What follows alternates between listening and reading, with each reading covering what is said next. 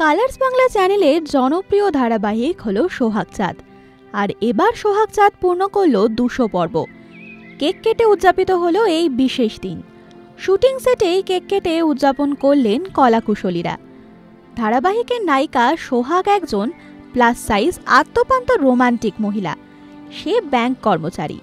আর তার চেহারার জন্য প্রায় চৌত্রিশ জন পাত্র তাকে বাতিল করেছে। কিন্তু তথাকথিত নিখুঁত মহিলা হয়ে উঠতে একেবারেই রাজি নয় সে। বলা ভালো এক্ষেত্রে সে বিশেষ ভাবিতও নয় এ বিষয়ে। সে বিশ্বাস করে যে একদিন সে নিজের প্রিন্স চার্মিংকে ঠিক খুঁজে পাবে। তাকে তার ভিতরের সৌন্দর্যের জন্যই সে ভালোবাসবে।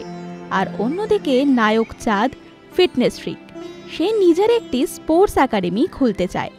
সে নিজের জন্য এমন একজন পাত্রী খুঁজছে যে সুন্দরী এবং নিখুঁত। ভারী ওজনের একেবারেই নয়। যদিও সোহাগ ও চাঁদ ছোটবেলার বন্ধু ও প্রতিবেশী। গল্পের ফেরে তাদের শেষ পর্যন্ত বিয়ে হয়। আর তারপর বিভিন্ন মোড়ে এগিয়ে চলছে সোহাগ চাঁদের গল্প। আর এবার দেখতে দেখতে দুশো পর্ব পার করল এই ধারাবাহিকটি। এবার গল্প ঠিক কোন দিকে মোড় নেয় সেটাই দেখায়।